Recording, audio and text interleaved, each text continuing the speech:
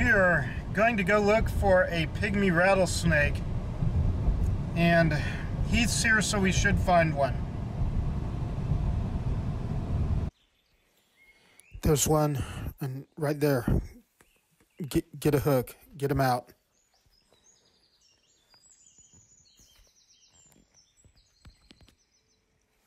Yeah. Okay. Here we have just a uh, regular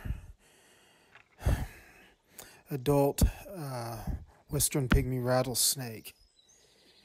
And he is not um, wanting to stay still. We're going to see if we can get some shots of him.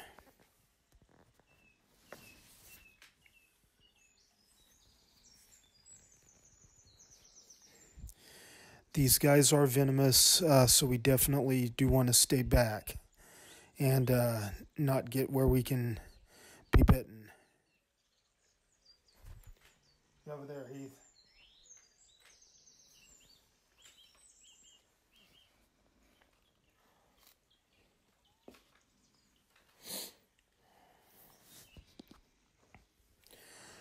These guys are probably, I'm pretty sure they are the smallest venomous snake in Oklahoma. Uh, some people say we have coral snakes in the southeast part of the state, and I don't buy that. I don't think one's ever been found. I don't think there's a biological record of one. Uh, this would be this would be our smallest venomous snake, and that's the pygmy rattlesnake.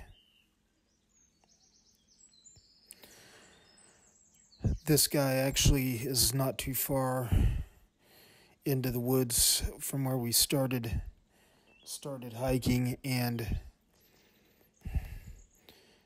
hopefully he's going to stay still and let us to continue uh, photographing him.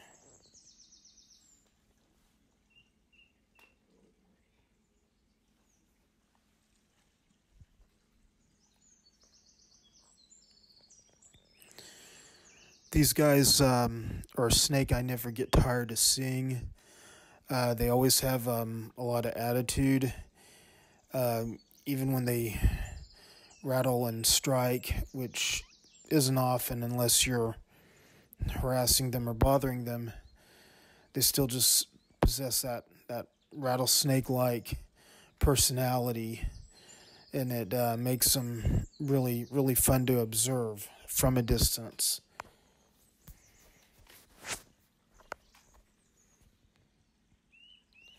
This is um, a snake that you do not want to get bit by.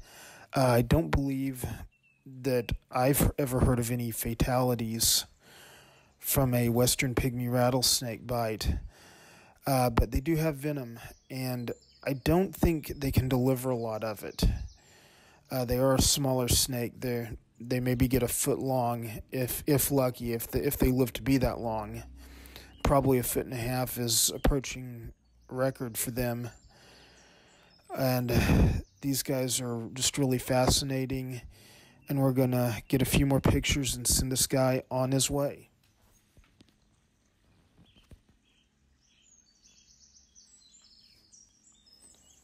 Thank you for watching and hit like and subscribe on your way out.